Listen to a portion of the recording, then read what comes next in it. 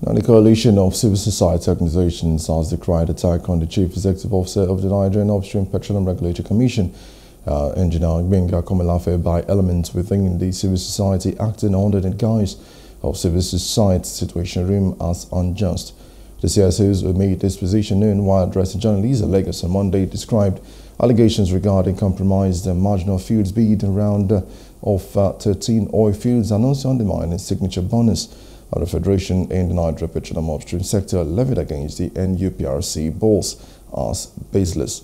Now, they noted that allegations by certain individuals acting under the guise of the civil society situation room is merely to embrace uh, and also embrace and also distract uh, the uh, headship and also area head of the NUPRC.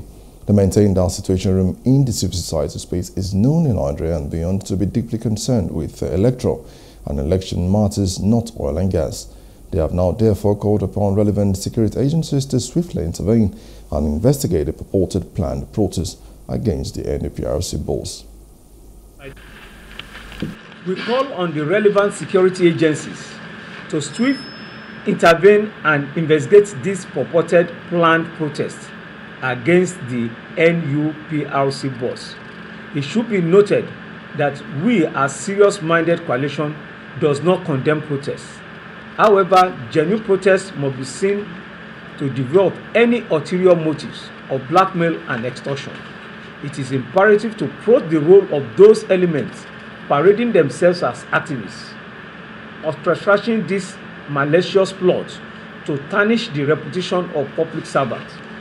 Justice must prevail, and those responsible for this attempted extortion must be held account accountable under the law. So, cry out or go to the to to to the to the anti-corruption agencies to report such but not going to to threaten or try to extort those um, uh, supposedly have been found wanting. So we i am i am saying on behalf of the coalition that who whoever has a grouse or whoever has a genuine case can take it before the anti-corruption agencies instead of trying to extort those who are involved. And we will not allow uh, blackmail or extortion of any form so and we shall not even stop at this. If need be we shall we, we shall hit the street. To also tell the world that these people are not genuine and they are not ready they are not advancing the cause of humanity they are not advancing the cause of uh, good governance in nigeria. nobody and i repeat including us has the right to question people's right